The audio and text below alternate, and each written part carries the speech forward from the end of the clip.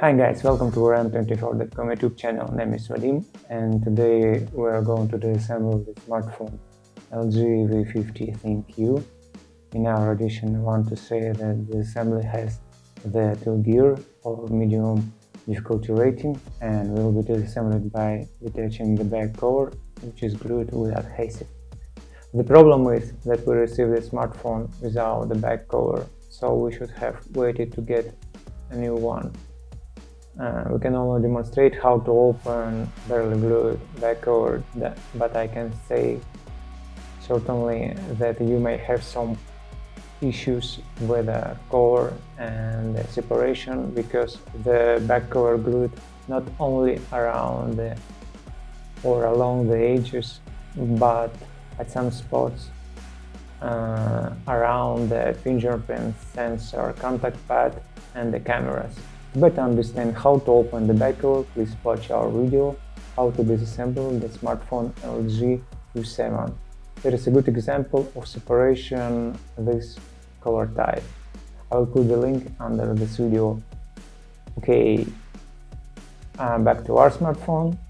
Uh, if you guys are ready, let's disassemble the smartphone LG V50. Thank you.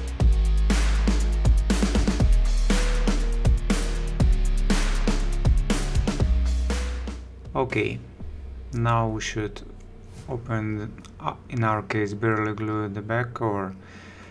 And as always we should hit the back cover with a heat gun or use a heating mat and heat it back cover up to 70 Celsius degree or 158 degree Fahrenheit. And after that uh, start to open the back cover so we use an plastic film or sheet and move it along the edges. And so we start from the far corner from the cameras move along carefully try to open the back cover so in your case it will take much more time. So guys please watch this moment especially show you that the fingerprint sensor has a spring contacts and uh, on the back cover it has contact pad for fingerprint sensor. On the other side the some pad for the devices like um, I guess for the second screen. And if you pause at um, this moment where the back cover is presented you can see that in the spots where the cameras were located the fingerprint sensor on the back or where the uh, pad for the devices there is um, a few adhesive that glued the back cover to the um, uh, middle covers because the spring contacts uh, it helped to hold the cover tight. So now we should unscrew a few screws. The specialists use a screwdriver Phillips 1.5 millimeters or hash 30 and he unscrew uh, a few screws at the top uh, the upper part. Yeah he shows that we also don't have in this model we don't have the um, SIM uh, and card tray too. Yeah the smartphone was severely damaged. We didn't we, we got it with, without the back cover and without the card holders but we should remove uh, them both okay he pry around the edges and remove the cover with a um, uh, wireless charge, charger and with a NFC tag. Also there is some pads and antenna tracks, pads for earpiece speaker. Okay, now we should use a non-metallic or plastic tool to disconnect the battery connector. Carefully disconnect the connector. Okay, and we should unscrew our screws. Okay, we use the same screwdriver, Phillips 1.5 millimeters. Unscrew the few screws, the securing the loudspeaker. And um, an assembly with a small boards for disconnect connector and remove the assembly with the antenna tracks and pad for devices like uh, uh, there is a loudspeaker like a second screen. And guys uh, you can google and watch how this model looks like with a second screen attached to it. It's like a you know second cover that we can open like a book. Okay we disconnect uh, two connectors and try to remove attached to the subboard and the coaxial cables we disconnect the connector to the headphone jack socket.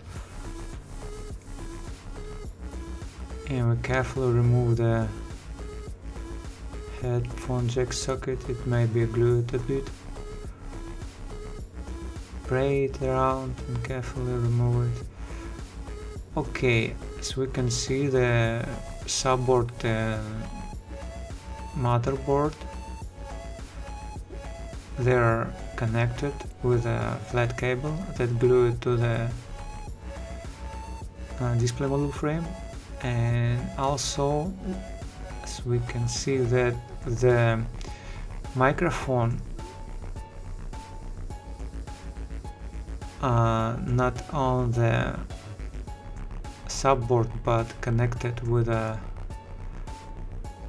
cable to the subboard. We disconnect the connectors for the display model. Now disconnect the connectors for, I guess, for the front selfie camera. And now we very carefully and turn over the motherboard. Yeah, we see the connector interboard cable connector. We disconnect the connector and now we can remove the motherboard. So go back to the subboard. We should unstick the flat cable carefully. Don't rush. There is a lot of small elements on it. Carefully remove the subboard.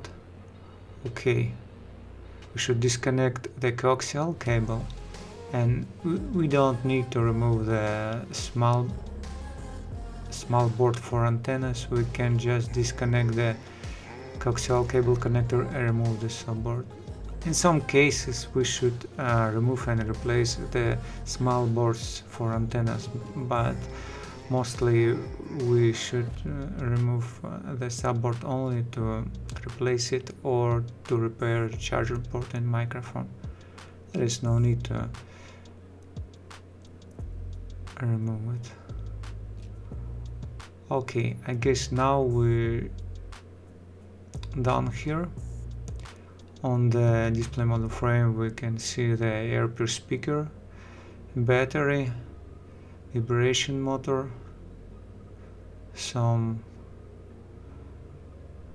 tracks. Okay we remove the assembly of of two front selfie cameras I guess.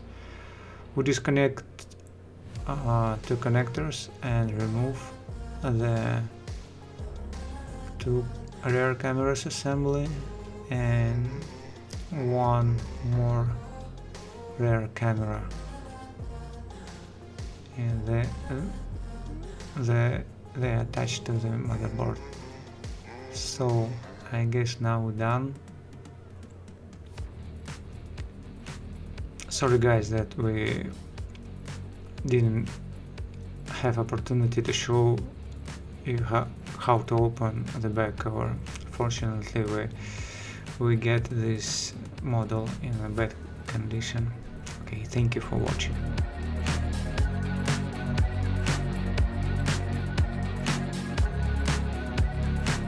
Okay guys, now we're done. Thank you for watching. I hope you guys enjoy our new video format. Please consider subscribing to our YouTube channel. Um, check our website, write your comments, and take care of yourself.